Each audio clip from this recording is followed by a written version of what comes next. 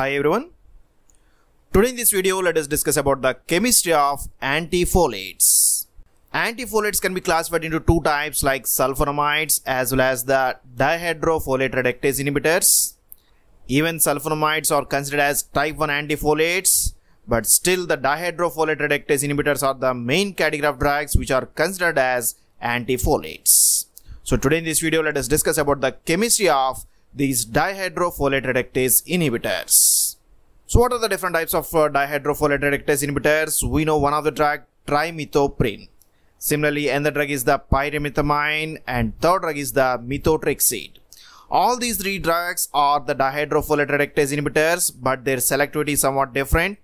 Trimethoprim is selective for the bacterial cells so it is used as antibacterial Pyrimethamine is selective for the protozoal cells, so it is used as anti-protozoal or anti-malarial. And methotrexate is selective for the mammalian cells, so it is an anti-cancer agent. Even these drugs show some difference in their selectivity, but still they're having some structural similarity.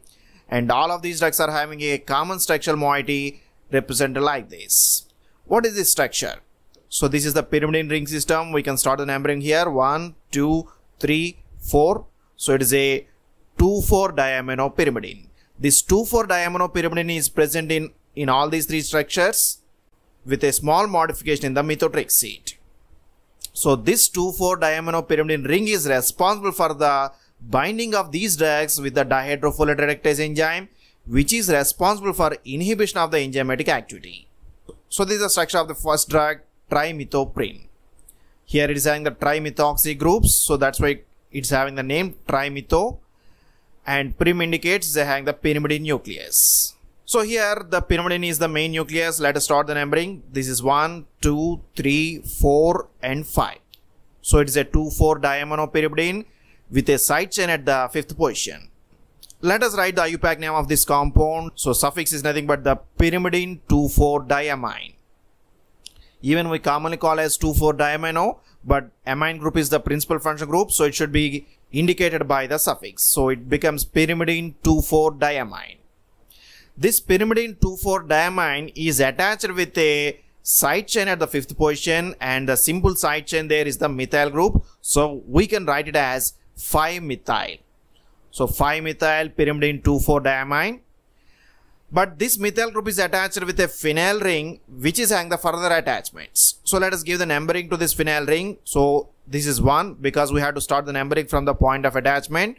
Then 2 3 4 5 now this phenyl group is having the methoxy groups at the third fourth and fifth positions. So we can fill the gap like 3 4 5 trimethoxy phenyl so this 3 4 5 trimethoxy phenyl group is attached to the methyl group at the fifth position of pyrimidine 2 4 diamine ring so that is the complete name of the trimethoprim it is 5-345 trimethoxyphenyl methyl pyrimidine 2,4-diamine. Next one is the pyrimethamine. Pyrimethamine is used as an anti-malarial agent and again you, here you can observe the 2,4-diamine of pyrimidine ring. We can start the numbering 1, 2, 3, 4, 5, 6. So now it is having the two side chains at the fifth and sixth positions. Again, we can write the name of the pyrimethamine with the same suffix pyrimidine 2,4-diamine. And this pyrimidine 2,4-diamine is having the fifth position, one of the side chain that is nothing but the phenyl ring attached with a chlorine at the fourth position. So it is a 5-4-chlorophenyl or para-chlorophenyl. And sixth position it is having the two carbon chain that is the ethyl. So 6-ethyl. So 5-4-chlorophenyl 6-ethyl pyrimidine 2,4-diamine is nothing but the pyrimethamine. And within the antimalarials we can observe another type of drug which is not a 2,4-diamine of pyrimidine but still acts by same mechanism. This drug is nothing but the proguanil. Proguanil is again the dihydrofolate reductase inhibitor. But this is not a active drug. This is a prodrug and proguanil is chemically biguanide which can be modified and undergo the cyclization such that it is going to produce a active metabolite. How it is undergoing the cyclization? So it can undergo a cyclization by reaction between this carbon and amine group. Then it produces a metabolite like this. You can see that by interaction of this carbon with the amine group, the ring is going to be closed and a six member ring system is going to be formed. And this structure, because having a cyclic nature, it is called as cycloguanil. The cycloguanil is the active metabolite of the proguanil. But here, it is not a 2,4 diaminopyrimidine.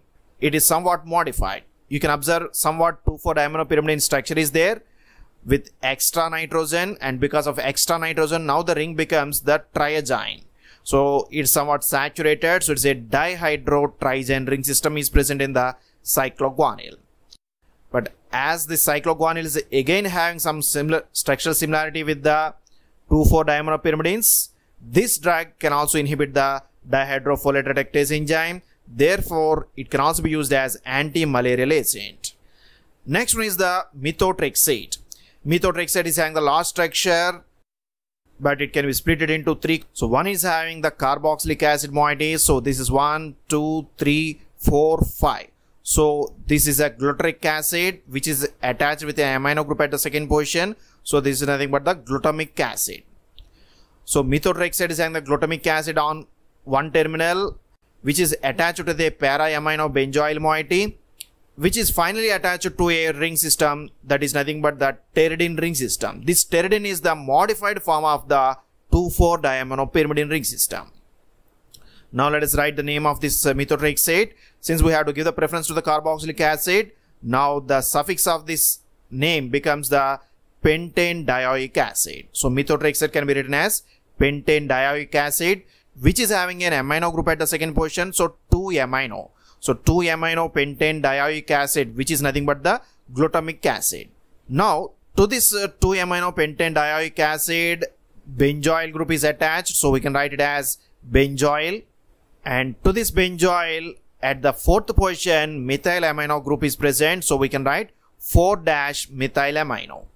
Now to this methyl amino group the pteridine ring system is attached. So let us start the numbering to this pteridine ring system. This is 1, 2, 3, 4 and 5 and 6. This is the numbering in the pteridine ring system. So again you can observe it is having the amino group at the second and fourth positions and a side chain is attached at the sixth position. So this is a 2,4 diamino pteridine 6-yle which is attached to the methyl group. So we can fill in this gap.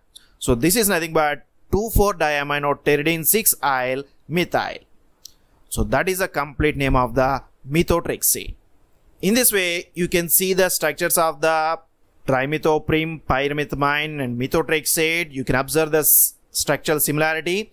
All of these structures are having the 2,4 diaminopyrimidine moiety.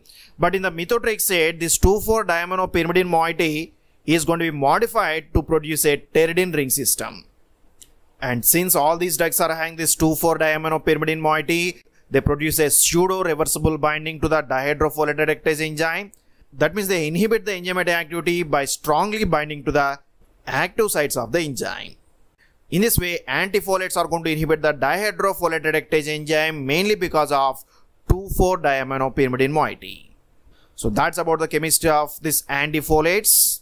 Hope you have enjoyed this video. If you like this video, please subscribe to our channel, share this video with your friends, post your comments in the comment box. Thank you for watching this video.